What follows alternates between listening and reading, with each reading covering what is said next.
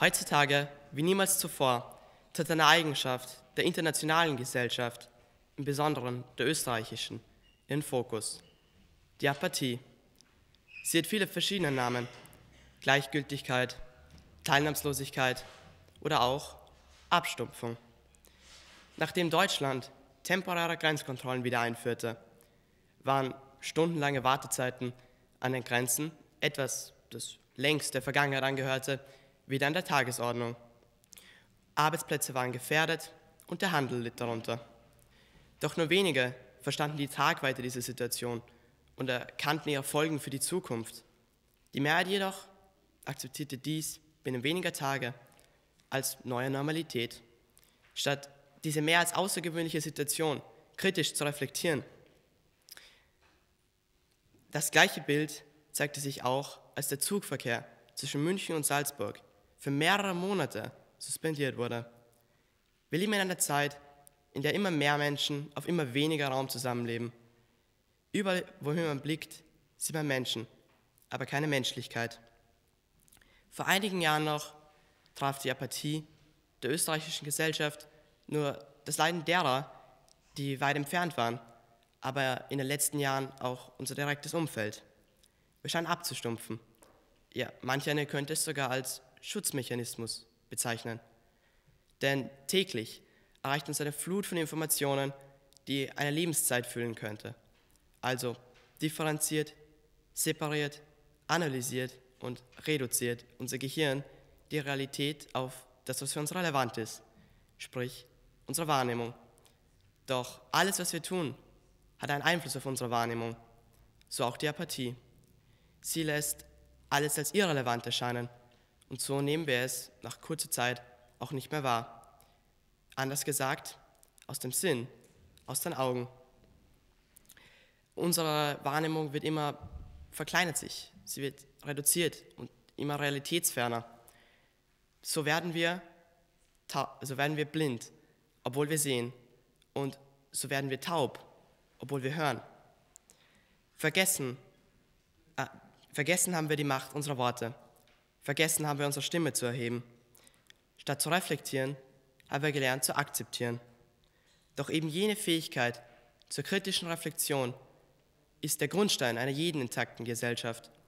Und deswegen ist die Apathie eine schleichende Gefahr, die im Dunkeln lauert.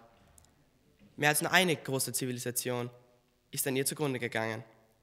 Die Etrusker waren eine Hochkultur, die ihrer Zeit und auch den Römern weit voraus waren. Von ihnen lernten die Römer, wie man Wein oder auch Weizen kultivierte. Auch der Gladiatorenkampf ist eine etruskische Tradition. Doch mit der steigenden Elaboriertheit der Gesellschaft ging auch die Apathie einher. So wurden keine Grenzen mehr patrouilliert und die Diplomatie wurde vernachlässigt. So erkannten die Etrusker die Gefahr einer römischen Invasion nicht und das etruskische Reich fiel in nur zwei Tagen. Was uns die Geschichte lehrt, ist, aus unseren Fehlern zu lernen und es nicht noch einmal zuzulassen, dass eine große Gesellschaft an der Apathie zugrunde geht. Erst vor wenigen Wochen aber wurde von Innenministerin Mikl Leitner und Verteidigungsminister Doskozil beschlossen, im Konsens mit der Regierung, die Innengrenzsicherung mit Zäunen voranzutreiben. Die Reaktion auf einen weiteren Zaunbau bei einer Verschärfung der Grenzkontrollen in den Balkanstaaten, aber auch eine Destabilisierung der Schengen-Zone. Denn wie schon Sir Isaac Newton treffend formulierte, Aktio und Reaktio. Um das in einen Kontext zu setzen, der Zerfall der Schengen-Zone würde die EU über die nächsten zehn Jahre 110 Milliarden Euro kosten. Jedoch auch in diesem Fall feiert die Apathie wieder einen Sieg. Einen Sieg über die Vernunft und vielleicht auch bald einen Sieg über Kontrolle, Sicherheit, Meinungs- und Pressefreiheit.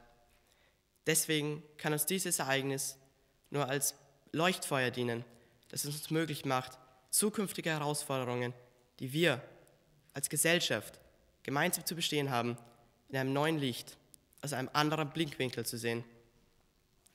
Gestern wurde ein weiterer Stein für die Festung Österreich gelegt. Denn es wurde von der österreichischen Regierung beschlossen, die österreich-italienische Grenze zu sichern, wenn nötig, auch mit Soldaten. Bald werden jene, welche die Grenze überqueren, ihre Aufmerksamkeit nicht mehr auf das wunderschöne Panorama richten, das sie umgibt, sondern auf den schwer bewaffneten Soldaten mit Sturmgewehr, der sie kontrolliert. Obwohl wir nur ein Mitgliedstaat von vielen in der EU sind, könnten diese weiteren Grenzkontrollen das Konstrukt der EU zerstören. Denn wir sind ein Dominostein im Konstrukt EU und wenn wir fallen, fallen alle anderen auch. Doch noch ist Zeit, die Situation zu reflektieren. Noch gibt es die Möglichkeit, konstruktive Kritik zu üben. Noch hat die Apathie nicht die Oberhand gewonnen. Und noch können wir Einfluss auf die aktuellen Geschehnisse nehmen. Deshalb möchte ich mit den Worten von Dylan Thomas schließen. Geh nicht gelassen in die gute Nacht. Brenn, rase, wenn die Dämmerung lauert, im Sterbelicht sei doppelt Zorn empfacht.